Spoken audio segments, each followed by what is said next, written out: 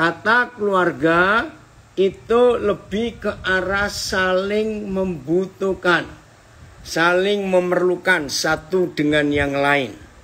Nah, jadi kata keluarga ini harus kita miliki dulu bersama-sama, ya kata keluarga itu.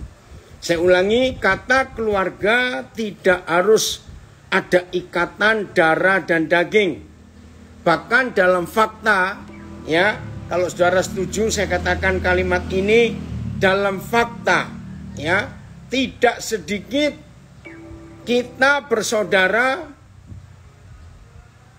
yang bukan saudara daging itu jauh lebih bisa akrab, jauh lebih bisa kompak, jauh lebih bisa berbagi daripada keluarga darah dan daging. Kira-kira betul atau salah konsep ini? Nah itulah fakta. Jadi keluarga itu saya ulangi lagi tidak harus dalam konsep hubungan darah dan daging, tidak. Tapi kata keluarga itu saya tekankan lebih banyak dalam hal saling membutuhkan. Nah, kita tahu Tuhan menciptakan manusia itu sebagai makhluk sosial. Tolong dicatat, bukan makhluk individu. Ya saya ulangi, Tuhan menciptakan manusia itu bukan dalam bentuk individu, tetapi kita ini makhluk sosial. Tolong dicatat ini. Apa arti kata makhluk sosial? Artinya sehebat apa pun kita, sepintar apa pun kita, sekaya apa pun kita, sesehat apa pun kita, kita tetap saling membutuhkan. Tidak ada seorang pun yang bisa hidup dengan dirinya sendiri. Tidak bisa. Ya saya ulangi lagi. Maka itu rekan-rekan dari si cepat, orang-orang hebat dari si cepat, baik para pemimpin secara khusus. Sehebat apa pun kita, saya ulangi, sekaya apa, sejenius apa, sekuat apa, sesehat apa, pengalaman banyak sekalipun. Tolong diingat bahwa kita tidak bisa mengerjakan apa-apa sendiri. Kita perlu saudara kita, rekan kita yang lain. Nah, Tuhan menciptakan konsep ini dalam hukum biologi yang disebut simbiose mutualisme.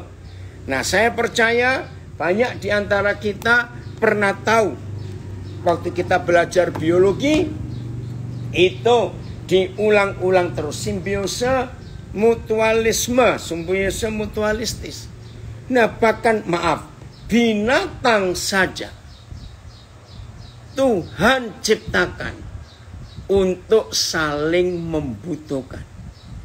Terima kasih kepada para leader yang memberikan kita tema yang luar biasa hari ini untuk kita boleh belajar bersama-sama. Ya, yaitu keluarga. Ya, saya mau baca lagi tema kita yang sudah dipilih ini sangat bagus. Semangat kekeluargaan menjaga keharmonisan untuk saling berenergi Mudah-mudahan saya bisa mengulasnya dengan singkat tapi tepat karena ini banyak kata-kata yang harus kita bahas bersama-sama. Ini baru satu kata keluarga. Belum lagi keharmonisan, belum lagi bersinergi. Woi, ini seru sekali. Saudara, kita bersyukur untuk hidup yang Tuhan berikan dalam konsep simbiose mutualisme siapa pun orangnya, siapa pun makhluk hidup itu, sekuat apa, sehebat apa, kita tetap saling membutuhkan. Kita perlu orang lain. Maka itu jangan ada yang sombong. Memang kita tahu akhir-akhir ini perusahaan si cepat sedang diantam badai yang gak kecil. Cukup berat. Berapa hari saya mengikuti bagaimana para pemimpin di si cepat menyatakan, aduh berat sekali hari-hari ini. Tantangannya luar biasa. Betul. Hidup akan tetap menghadapi tantangan bagaimanapun kuatnya perusahaan itu atau kuatnya seseorang.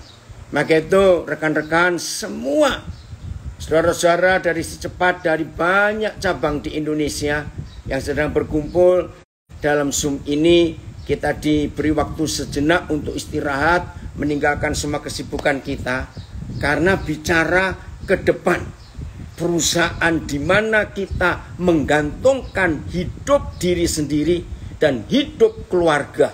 Saya ulangi, perusahaan di mana kita menggantungkan hidup pribadi dan hidup keluarga kita termasuk hidup masa depan anak-anak kita ada di perusahaan ini.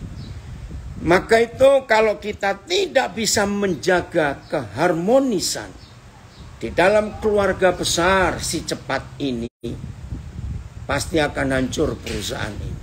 Dan kalau perusahaan ini kolaps, maka yang rugi nggak cuma para pemegang saham dan pemilik, tapi semua kita yang ada di dalamnya pasti akan mengalami kerugian juga. Nah untuk itu tema ini nggak main-main.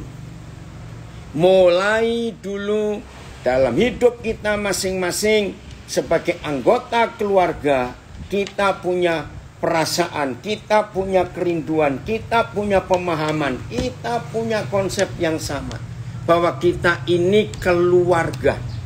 Jangan lupa, kita ini keluarga. Walaupun bukan saudara daging, tapi kita ini keluarga. Tolong dicatat.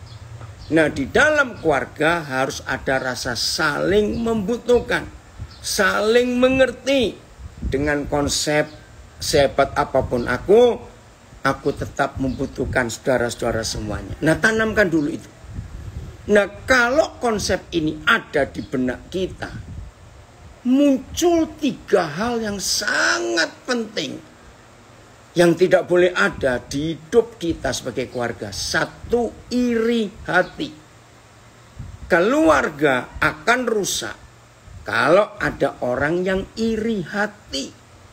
Ini perlu dijaga. Saya ulangi, ada tiga hal yang akan merusak kekeluargaan kita. Satu, iri hati. Jangan ada. Nah, contoh paling gampang begini. Ya, misalnya ada di antara kita di si cepat ini datang dari sebuah daerah yang sangat pelosok. Berangkat berdua dari daerah yang sangat pelosok karena uangnya sangat pas-pasan sehingga dua saudara ini tetangga ya nggak ada hubungan darah daging teman baik dari SD, SMP, SMA misalnya. Lalu merantau ke Jakarta karena uang pas-pasan. Sehingga naik kapal barang yang berhenti-berhenti di beberapa pelabuhan dengan susah payah sampai di Jakarta ringkas cerita melamar ke sana kemari dan akhirnya bekerja di si cepat. Nah nasibnya sama dari kampung bersama-sama naik kapal yang sama kos di ruang sempit demi menghemat biaya. Akhirnya diterima di secepat ini ilustrasi tiga bulan kemudian ada perubahan nasib dari dua saudara ini tadi. Yang satu melejit Woi posisinya otomatis gaji juga naik. Tapi yang satu mungkin nggak turun tapi stabil. Kenapa nah hati-hati. Jangan iri hati kepada saudaramu yang dari kampung yang sama, merantau bersama-sama. Kenapa dia kok lebih maju dari aku? Nah, iri hati itu merusak keharmonisan. Saya ulangi, iri hati itu merusak keharmonisan keutuhan keluarga. Seandainya ada di antara kita dari keluarga besar si cepat ini yang mengalami nasib seperti yang satu ini. Kenapa dia melejitnya cepat? Kenapa aku stabil terus? Buang rasa iri hati, justru munculkan sebuah pertanyaan. Kira-kira di hidupku ini kurang apa ya? Oh, rekan-rekan, saudara-saudara, anak-anak saya yang luar biasa. Kalau sadar bahwa sahabat kita, saudara kita yang senasib dengan kita sama-sama dari kampung, ternyata dia lebih melejit dari kita, jangan ada iri hati. Justru timbulkan sebuah pertanyaan. Aku kurang apa? Salahku di mana? Kenapa? Oh, kalau semua kita dalam tanda kutip, dalam keterpurukan kita melihat rekan yang senasib dengan kita lebih sukses dari kita, tapi tidak iri, tapi menimbulkan pertanyaan, apa yang harus aku perbaiki? Apa yang kurang sehingga aku kalah dengan dia? Bukan iri hati, tapi rendah hati. Mau belajar, apa yang kurang? Percayalah, kerinduan manusia untuk mencari jawaban akan masalah hidupnya. Ya saya mau katakan kalimat ini. Setiap manusia yang sedang mengalami keterpurukan, terjepit dan sejenisnya. Tapi dengan rendah hati mau mempelajari apa yang kurang. Saya mau katakan ini. Alam saya ulangi, alam, alam semesta itu akan menjawab kerinduan itu. Ya, saya sering bertemu orang yang tidak mau percaya Tuhan. Saya pun tidak memaksa dia, ya, tidak memaksa untuk percaya. Tapi orang-orang seperti itu selalu saya ajak berpikir. Kamu percaya hukum alam tidak? Iya, ya sudah. Nah, hukum alam inilah yang adalah Tuhan sendiri karena Dia pencipta alam semesta itu. Nah, contoh yang paling gampang presiden kita Bapak Joko Widodo.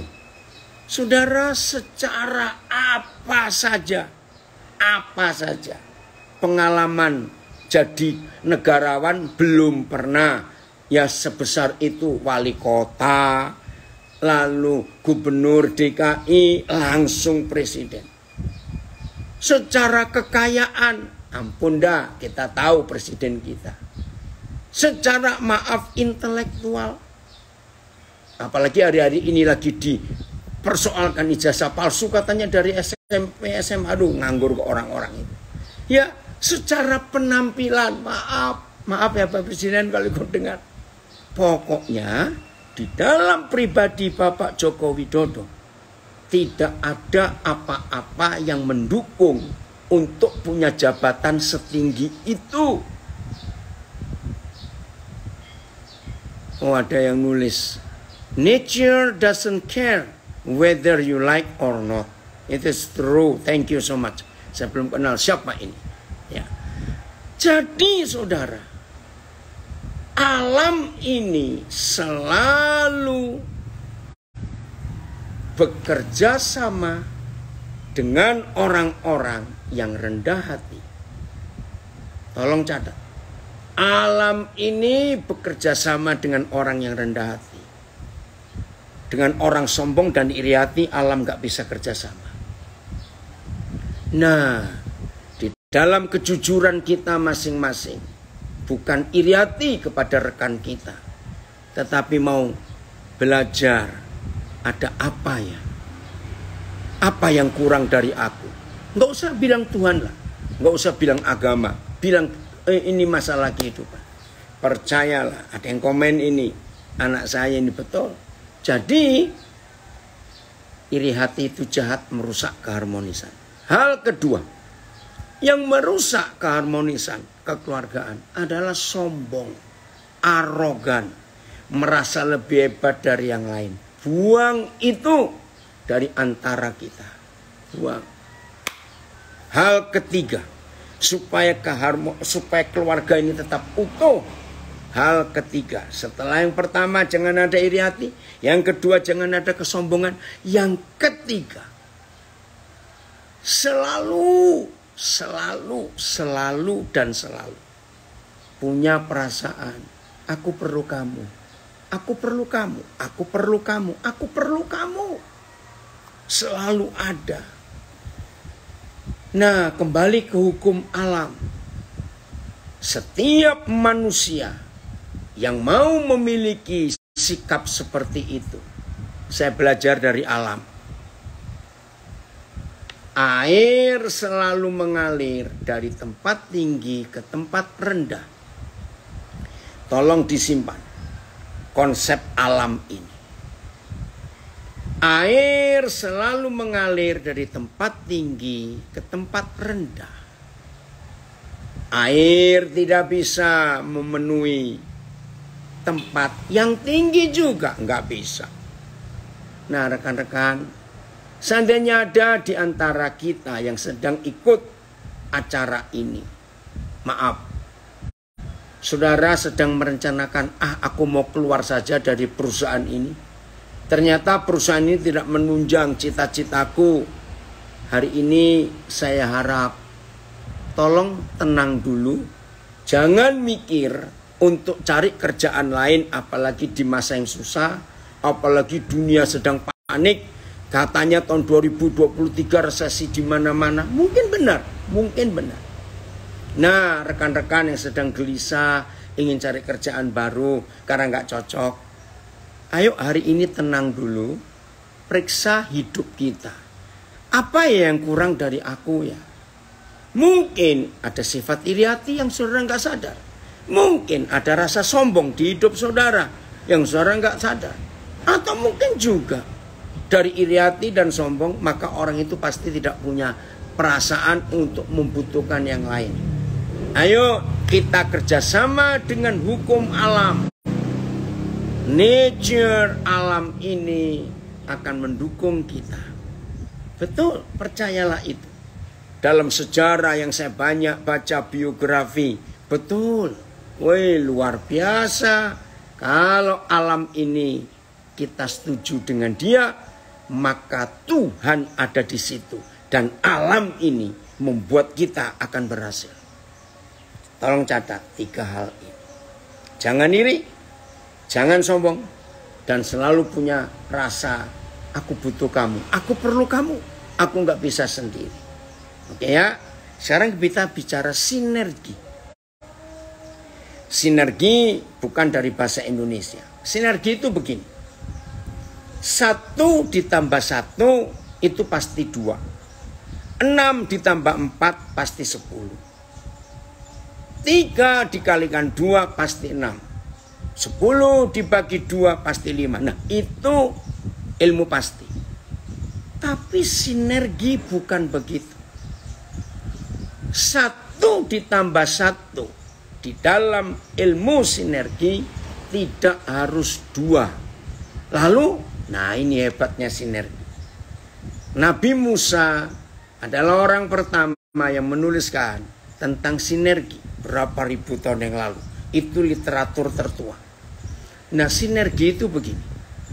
Satu yang pertama itu dinilai diperiksa. Nilai kemampuannya berapa. Nah sebelum ditambahkan satu yang berikut maka satu yang kedua ini pun harus dinilai kemampuannya, kapasitasnya, nilainya berapa value. Nah, begitu satu yang pertama ketahuan value-nya segini, kapasitasnya segitu. Lalu ditemukan di satu yang kedua nilainya begini, ya kapasitasnya begini, fasilitas hidupnya satu yang kedua itu begitu. Begitu ini digabungkan, wow, bisa ratusan kali lipat daripada sekedar satu ditambah satu. Ini sinergi. Ilmu yang luar biasa. Maka itu jangan suka meremehkan orang yang secara penampilan enggak nampak. Maaf, saya beri contoh lagi Lihat para pembenci Presiden Jokowi. Ada kata-kata yang aduh. Kemarin viral di sosial media. Ya ini presiden yang paling banyak dihina. Presiden yang paling banyak dihujat, difitnah, dicaci maki. Kurus krempeng, pelonga pelongo, belokon. Aduh macam-macam. Tapi orang tidak menyadari betapa hebatnya nilai Joko Widodo. Value ya. Kapasitas. Ternyata orang-orang heran. Coba saudara cari di Google atau internet pidato pertama presiden tentang kota Nusantara IKN kalau nggak salah 17 Oktober atau 18 Oktober saudara saya nonton berkali-kali wih itu pertemuan pertama presiden dengan beberapa ya konglomerat pengusaha-pengusaha di Indonesia yang berhasil bahkan ada Tony Blair mantan perdana menteri Inggris kenapa ada Tony Blair karena presiden memilih Tony Blair akan jadi juru bicara internasional tentang Nusantara. Wah itu keren. Oh saudara lihatlah. Nggak panjang kok. Saya kagum waktu mendengar pidatonya presiden untuk kota Nusantara ini di depan forum pertama. Wih ini orang ternyata jenius sekali. Sangat jenius. Wah cara memaparkan nggak pakai teks, nggak ada tulisan, lancar sekali. Saya salut. Nah, presiden kita ini ditambah dengan beberapa menteri yang luar biasa. Amin ya, Alpian Wetipo, kamu masih di Timika. Ya. Bayangkan, dikatakan bahwa Nusantara adalah nantinya satu-satunya kota di dunia.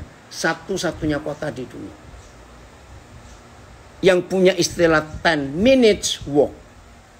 Jadi Nusantara itu didesain orang mau ke satu titik ke titik yang lain itu diukur nggak nggak akan lebih dari 10 menit.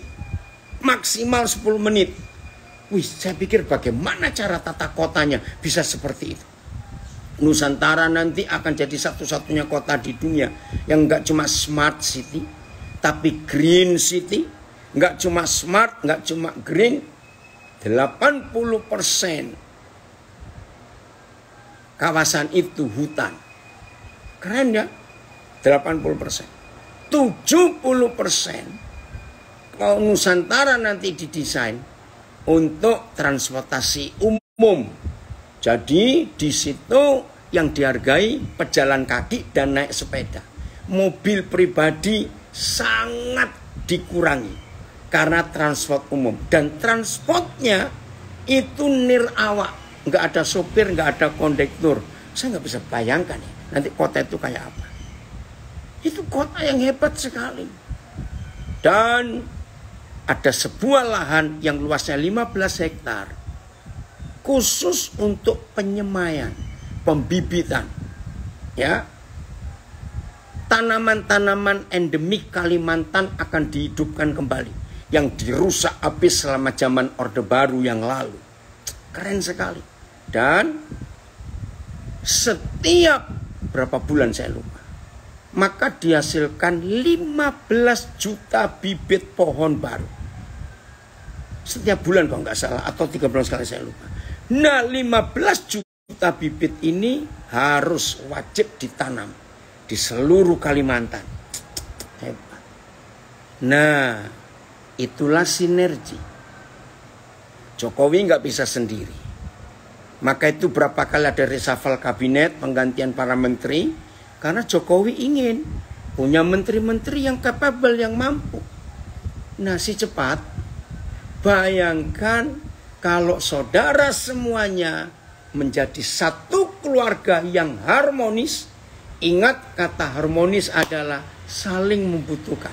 Aku nggak bisa hidup tanpa, tanpa kamu. Simbiose mutualistis. Nggak ada iri hati, nggak ada rasa menang sendiri, sombong tidak. Tapi rasa saling membutuhkan. Wah begitu kekeluargaan di si cepat bahkan keluarga-keluarga kita ya secara fisik keluarga bahkan komunitas kita di mana saja kita berada kalau itu kompak waduh maka terjadi sinergi yang saya nggak tahu bagaimana. Saya harap para pemimpin, para leader si cepat yang ikut bergabung, renungkan kata sinergi ini. Itu nggak main-main sinergi itu. Wih, luar biasa dampaknya, hasilnya. Jadi di dalam sinergi itu ada orang yang sangat jenius, super jenius. Ya, tapi bisa kerjasama. Maaf, ini saya berikan ilustrasi yang ekstrim. Bisa kerjasama dengan lulusan SD. Dan lulusan SD dalam sinergi itu tidak merasa minder. Karena ditopang oleh kelompoknya, rekan-rekannya yang punya kelebihan. Wih, luar biasa. Betul, ini Ibu Gembala dari Medan. Setuju, Papa. Ya, sinergi itu menghadirkan hal yang betul Mendra kota impian. Dan presiden yakin. 17 Agustus 2024 untuk pertama kali Nusantara akan jadi tempat perayaan 17 Agustus 2024 awal 2023 sudah mulai beberapa kantor kementerian, kantor kepresidenan sudah pindah ke sana. Wah, seru sekali. Ini gara-gara Pak Jokowi sinergi dengan orang yang tepat, dengan tim yang tepat. Itu kata sinergi lagi sekali bagi yang belum pernah tahu. Combine action itu bahasa Inggrisnya. Sinergi itu combine action jadi bukan penambahan, bukan 5 tambah 7, bukan 5 kali 3, bukan. Tapi combine action. Sebuah aksi yang digabung jadi satu. Wih itu kekuatannya dahsyat sekali. Nah hukum ilmu pasti tidak bisa menghitung kekuatan sinergi.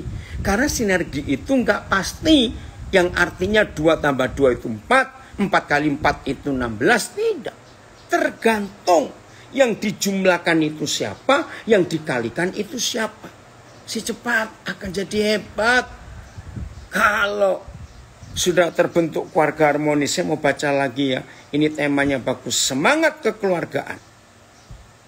Ayo semua kita menjaga semangat kekeluargaan kita. Menjaga keharmonisan untuk saling bersinergi. Nah, daripada kita buang-buang waktu, buang-buang energi. Tolong yang kenal saya pasti tahu prinsip hidup saya itu. Saya itu paling gak suka ngurusin orang tersinggung, salah paham, salah dengar. Maaf, yang kenal saya tahu sikap saya. Orang-orang yang suka ngurusin kata orang, salah sangka, saya nggak akan pernah perhatikan. Sayang waktu saya hanya untuk ngurusin orang yang suka tersinggung, orang yang suka iri hati, nggak suka melihat saudaranya berhasil. Saya nggak akan anggap. Saya suruh kamu berubah dulu. Sebab orang seperti itu akan merusak komunitasnya. Karena orang seperti itu hanya mau cari perhatian. Padahal yang sakit dia sendiri. Nah, bagi yang baru tahu, karena saya sering marah kepada orang-orang manja seperti itu. Dikit-dikit nangis, dikit-dikit lapor, dikit-dikit mengeluh. Hei, sudah sudah nggak ada waktu, nggak ada waktu. Ayo kita bersinergi. Maka itu rekan-rekan si cepat, maafkan saya. Kalau ada di antara Anda, istilah saya itu, jiwamu seperti tahu Jepang. Maaf ini, Tahu Jepang saya nggak salah. Cuma saya mau cerita bentuknya. Apa bedanya tahu Jepang dengan tahu kedelai yang Indonesia? Tahu Jepang itu lunak.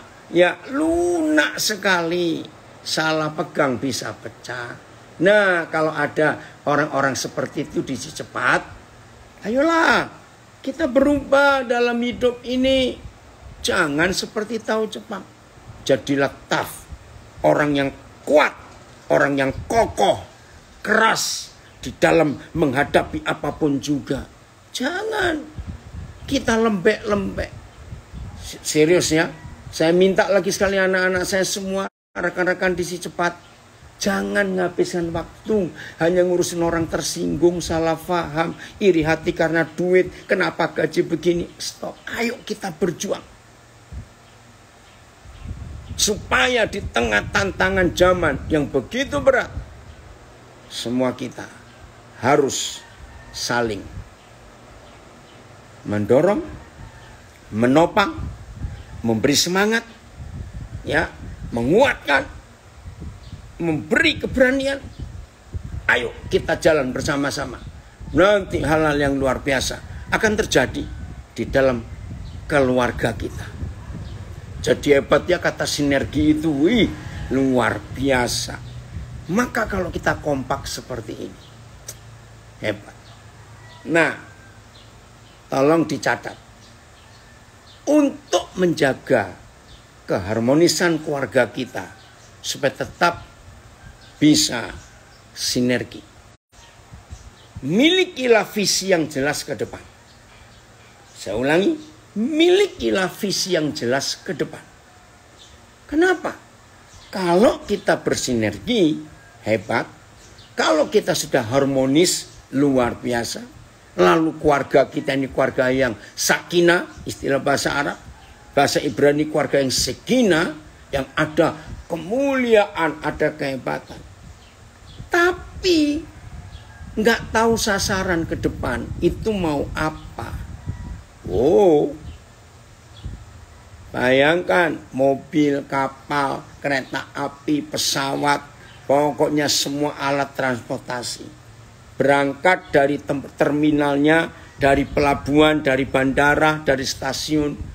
Ternyata nggak tahu mau ke mana. Wah celaka sekali. Nah, si cepat punya moto, punya visi, punya misi. Jangan lupa itu ya. Selalu kita arahkan untuk ke depan. Jadi keberhasilan kita untuk apa saja. Untuk apa saja. Bukan karena seorang atau lima orang. Tidak. Keberhasilan kita di dalam mencapai apa saja. Itu karena kebersamaan. Tolong dicatat. Keberhasilan kita bukan karena satu, dua, lima, enam, tujuh orang. Tidak boleh, tidak boleh. Keberhasilan kita harus selalu, harus selalu jangan lupa. Karena kebersamaan kita, karena keharmonisan kita. Nggak ada iri hati, nggak ada rasa menang sendiri sombong. Tapi saling membutuhkan, saling memerlukan simbiosis mutualisme. Ya, saling rendah hati, Selalu yang menganggap yang lain lebih yang lain lebih utama dari dirinya. Nah, kalau itu ada harmonis, sinergi, wah, saling mengampuni, nggak ada iri hati, bisa menerima kekurangan, kelemahan rekannya, saudaranya. Saudara yakinkan diri kita. Keberhasilan itu akan kita nikmati bersama-sama. Bukan cuma untuk segelintir orang saja. Tidak. Ayo Maaf kalau saya beri contoh, walaupun ini negatif. Tapi saya belajar kekompakan. Maaf ya, maaf. Kasus Verdi Sambo. Hanya karena entah satu-satu Verdi dengan Putri atau dua-dua, saya nggak tahu. Ya, masih proses pengadilan. Tapi karena ulah dua orang ini Lalu mereka mengadakan sinergi. Nah ini sinergi yang jelek. Tapi hampir berhasil sinergi mereka. Maka itu yang diadili bukan cuma para terdakwa yang berusaha langsung dengan almarhum Yosua.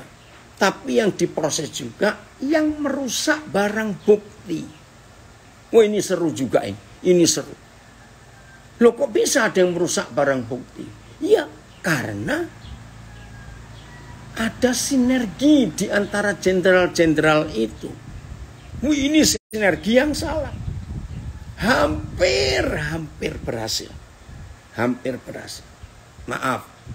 Maka itu saya sering berkata, kalau presiden kita saat ini bukan Joko Widodo, maka kasus ini akan lenyap. karena kekuatan uang. Maaf. Tapi karena presiden kita adalah Joko Widodo, maka itu sampai empat kali presiden minta kepada Kapolri. Usut sampai tuntas. Empat kali loh. Nggak cuma sekali, dua kali, empat kali. Ada apa ini? Ini loh. Orang disebut kerempeng, pelongak, pelungu, bloon. Ternyata hebat sekali. Nah, jangan ikuti sinergi yang salah dalam kasus polisi di Indonesia dalam beberapa bulan terakhir. Tapi ayo kita sinergi untuk yang benar. Mencapai tujuan yang luar biasa. Jadi jangan lupa kata sinergi itu adalah combine action. Sebuah kekuatan yang digabungkan, sebuah aksi yang digabungkan. Wah, menjadi ledakan yang luar biasa. Ada kekuatan baru di dalam sinergi itu. Nah, inilah hal yang penting dalam kehidupan kita untuk menjaga keharmonisan keluarga kita, lalu kita bisa bersinergi. Jadi yang untung bukan cuma perusahaan. Enggak. Perusahaan nggak bisa untung sendiri tanpa tim. Saya ulangi, sehebat apa, sebunafit apa, sebuah perusahaan nggak akan bisa berhasil tanpa tim yang kompak ya tanpa tim yang bisa bersinergi sebagai keluarga yang harmonis. Ini konsep penting dalam kehidupan kita ya kesatuan kita. Ada seorang yang pernah menulis cara sinergi cara harmonis itu lihat anggota tubuh kita ya. Yang namanya manusia itu pasti satu tubuh lain halnya kalau kembar siam, kembar dempet. Nah itu nggak ngomong betul sinergi itu hal yang luar biasa. Combine action. Oke. Okay? Nah, orang ini menulis namanya Paulus. Kita ini satu tubuh. Dari kepala sampai telapak kaki ya satu. Satu orang. Tapi dari satu tubuh ini kita ini mempunyai ribuan-ribuan anggota. Bahkan kalau dirinci satu persatu, nggak tahu berapa juta. Ayo kita sebut otak, betul. Kalau nggak punya otak, otak terganggu ya nggak normal manusia itu. Tapi otak nggak boleh sombong. Lalu berkata, aku nggak butuh kamu yang lain. Nih, Terus otaknya mau kerja pakai apa? Jantung. Wow, itu penting. Nggak ada jantung, nggak bisa memompa darah. Tapi jantung nggak bisa berkata, aku nggak butuh yang lain. Nggak bisa. Mata. Nggak bisa mata, aku nggak butuh hidung, aku nggak butuh tangan. Saudara, maka itu dalam istilah harmonis dan sinergi. Ayo kita melihat tubuh kita sendiri satu. Tapi anggotanya. Waduh kalau dirinci ya. Kalau dirinci satu persatu.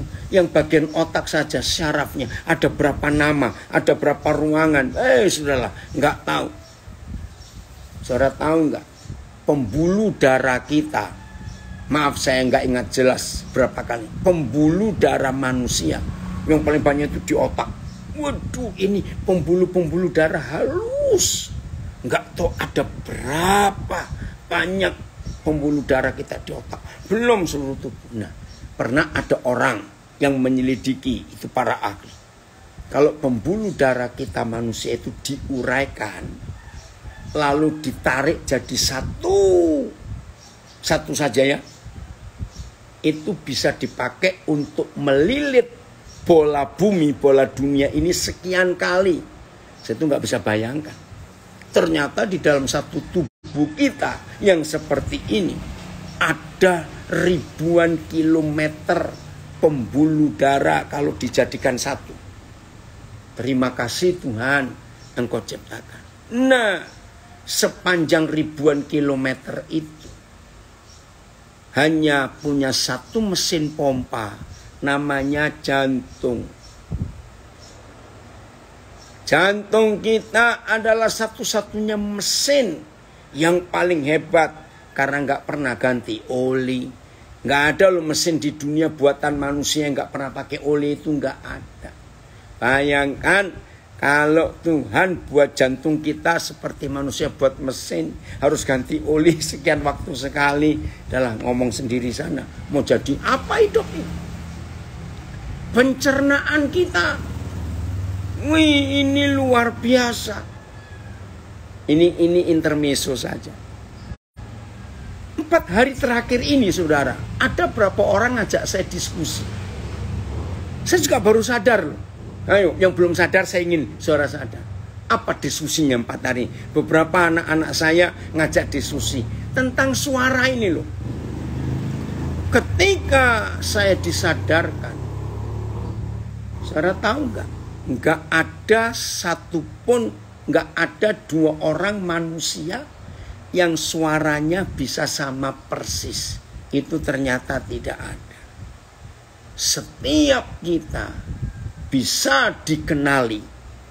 Salah satu cara mengenalinya lewat suara. Terus saya merenung sambil saya pegang leher saya.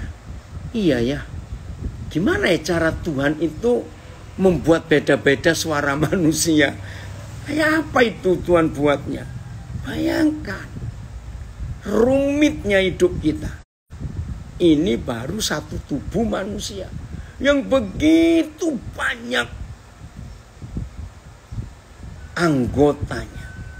Terus yang lebih unik lagi, seluruh anggota tubuh kita, perhatikan tiga hal ini seluruh anggota tubuh kita itu bentuknya beda semua. Lihat jari tangan kita ini lihat. Nggak ada yang sama. Sidik jarinya ini ini untuk satu tubuh. Nggak ada yang sama. Lalu lihat ruas-ruasnya. Nggak ada yang sama bentuknya semuanya jantung kita, paru-paru kita, pankreas, empedu, ginjal, ah semuanya. Enggak sama bentuknya. Tapi mereka bisa kerjasama. Yang kedua, enggak cuma bentuk yang beda total. Fungsi di dalam satu anggota, di dalam satu tubuh kita ada berapa juta anggota dengan nama berbeda-beda dengan bentuk berbeda-beda, dengan fungsi berbeda-beda. Yang ketiga, dengan tempat berbeda-beda dari ujung kepala sampai telapak kaki mereka semua tahu fungsinya dan nggak ada yang iri hati di dalam anggota tubuh kita ini. Yang satu berkata aku lebih penting dari kamu. Tidak. Anggota tubuh kita kerjasama harmonis yang luar biasa. Saling membutuhkan, saling menerima. Oh, terima kasih Tuhan. Nah, jadi di bagian terakhir ini, kalau ada di antara saudara-saudara sedang bingung dengan konsep harmonis dan sinergi, maka contoh tubuh kita sendiri adalah sebuah bentuk keharmonisan dan sinergi yang luar biasa. Otot-otot kita ya bisa ngangkat berat apa saja. Waduh, ini luar biasa. Maka itu keluarga besar si cepat. Stop iri hati. Stop saling menjatuhkan, saling menjilat. Nggak ada gunanya. Kita saling memerlukan. Ya, tempat kita beda-beda, divisinya masing-masing kok. Tapi ingat, dalam struktur manajemen yang dianut oleh semua perusahaan, khususnya kita si cepat sekarang ini. Ingat ya, nggak ada divisi yang lebih penting dari divisi yang lain. Tidak ada bagian yang merasa super, lebih super dari yang lain. Tidak. Termasuk Misalnya bagian keuangan, jangan sombong. Jangan sombong. Ya udah. Kalau bagian keuangan nggak mau terima yang lain kerja sendiri. Bayangkan kalau saudara bagian keuangan nggak ada orang lapangan, bagaimana uang bisa masuk? Nah itu contoh. Maka itu si cepat keluarga besar jaga keharmonisan kita supaya kita saling sinergi. Jaga untuk semua hal yang ada kita saling membutuhkan. Kita nggak bisa sombong untuk hal apa pun juga. Jadi kalau suara sulit, nggak usah baca buku. Malah bingung nanti karena terlalu banyak buku. Lihat aja badan kita sendiri. Waktu kita makan, itu yang kerja seluruh tubuh. Walaupun yang kunyah-kunyah kecap-kecap itu mulut. Tapi waktu kita makan, untuk masukkan makanan, kan perlu tangan. Setelah kita kunyah, waduh, ada berapa macam enzim yang Tuhan ciptakan yang keluar dari lidah kita. Lidah kita yang cuma berapa sentimeter saja. Jangan bilang ludahku satu meter. Waduh menakutkan nanti. Bayangkan lidah yang cuma sekian sentimeter saja. Itu perbagian saya kagum. Mengeluarkan enzim yang berbeda. Ih dari mana ini? Bayangkan itu. Lidah yang cuma sekian sentimeter. Bukan sekian meter ya. Enzimnya beda-beda. Juga lidah yang cuma sependek begini. Ujung lidah, bagian depan kiri, bagian depan kanan, itu ternyata punya syaraf untuk merasa yang berbeda. Rasa pedas di mana, rasa asin, rasa manis, rasa asam, ma ke belakang lagi bagian tengah kanan bagian tengah kiri bagian belakang kanan bagian belakang kiri. Lalu di pangkal lidah ada lagi rasa yang beda. Keluar enzim yang lain lagi. Waduh itu baru makanan terus kita sudah punya kita telan lewat tenggorokan di sini ada lalu lintasnya bayangkan kalau lalu lintasnya ngadak Lalu makanan masuk bukan ke tenggorokan jalur makanan, tapi ke jalur nafas. Mati kita. Siapa yang ngatur ini? Kerjasamanya luar biasa. Jelas ya, rekan-rekan, saudara-saudara. Kalau kita mau hidup bersinergi itu, harmonis itu, aduh, hasilnya itu luar biasa. Menyenangkan, menyenangkan. Nah, saya akan akhiri dengan hal ini. Semua kita pasti pernah mendengar kata stres. Stres, depresi, waduh lebih berat. Stres itu adiknya depresi. Depresi itu kakak kandung, kakak sulungnya. Jangan, ya, jangan. Ada depresi, ada stres.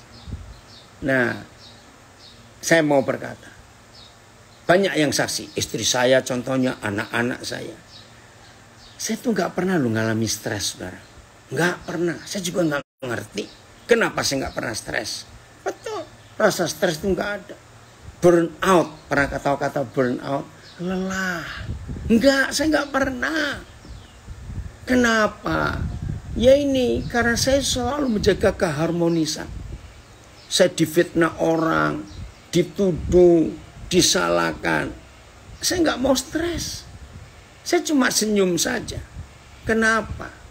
Kalau yang dituduhkan, yang difitnahkan itu memang saya nggak pernah buat, ngapain saya terima? Ya saya senyum saja. Kembali istilah saya, alam akan mendukung. Wih, semesta ini ya akan mendukung. Betul. Maka itu saya nggak pernah stres. Ada banyak masalah yang saya harus hadapi. Tapi saya nggak mau stres. Saya berkata, nanti kan selesai sendiri kalau kita harus menghadapi semuanya itu. Selesai sendiri. Percayalah. Enak loh hidup seperti itu. Nah sekarang.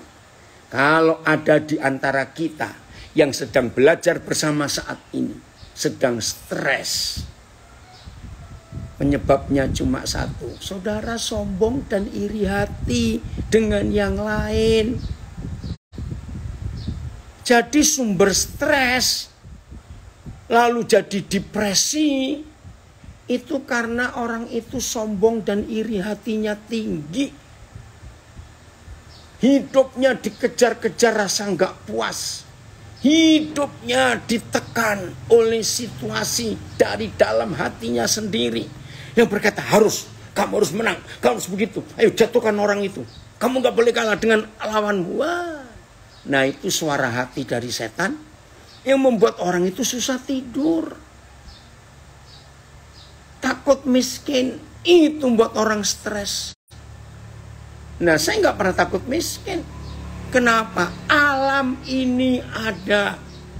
Apalagi Nabi Musa pernah berkata, maka itu nggak ada resepsi, nggak ada resesi di hidup saya. Saya selalu ada resepsi karena Nabi Musa pernah berkata, selama masih ada bumi, selama bumi masih ada, selama saudara dan saya masih melihat tanah, maka tidak berhenti-henti musim menabur, musim menuai.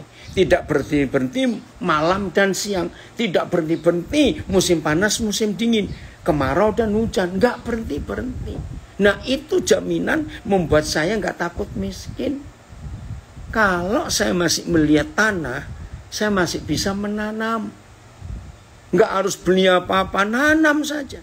Dan kalau tiap hari kita nanam, Berarti tiap hari kita panen. Bukan panen yang kemarin kita tanam. Tidak. Panen yang bulan lalu, tiga bulan lalu kita tanam. Nah itu panennya sekarang. Terus. Pakai itu rajin. Jangan malas. Pasti kita akan berhasil. Jadi ingatnya harmonis. Jaga keseimbangan. Metabolisme tubuh kita jaga. Untuk kebaikan kita sendiri. Maka itu dalam hal ini saudara lakukan hukum alam ini. Maka luar biasa. Senin yang lalu ini saya cuma cerita.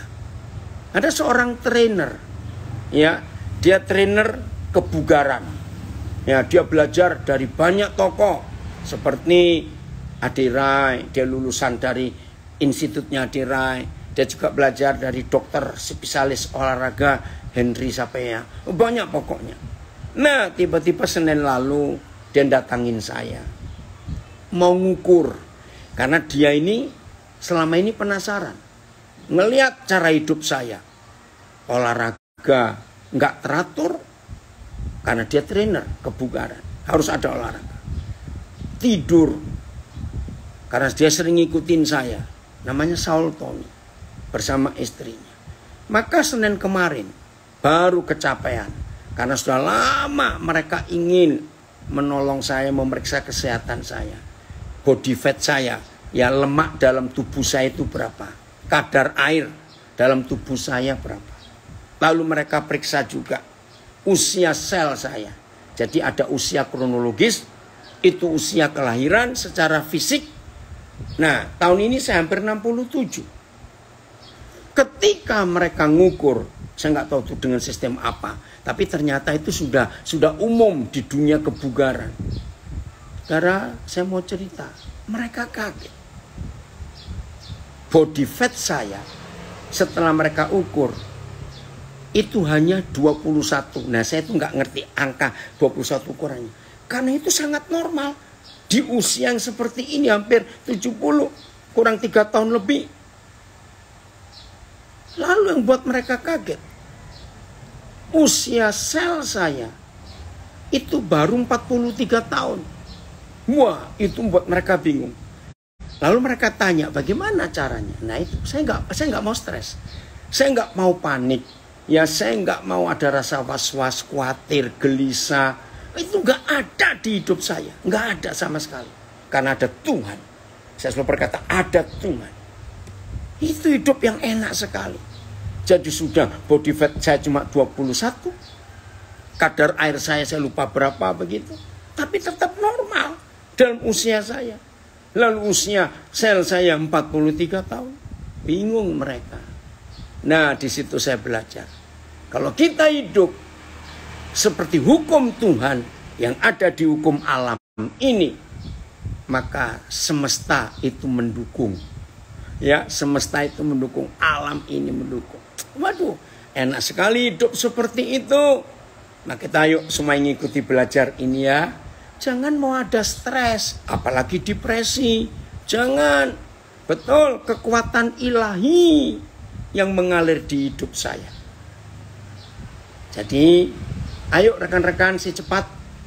Kita ini keluarga besar, jaga keharmonisan, ayo kita bersinergi, maka secepat sukses semua kita yang di dalamnya ikut sukses dengan otomatis.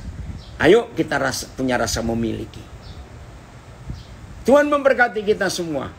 Dan jadilah orang-orang yang bersemangat untuk bersinergi. Karena kita saling memerlukan.